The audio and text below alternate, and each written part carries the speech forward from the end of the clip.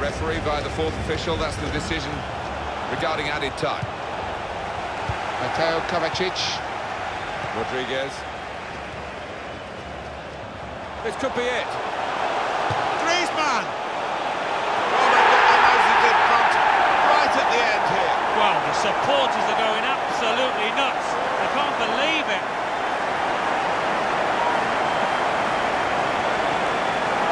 we were about to describe the final moments here as a draw, but we've got a winner now, a fantastic late, late goal. Well, you have to think that it is a winner as well, Martin. Very little time now for the opposition to come back. Well, a very exciting climax to an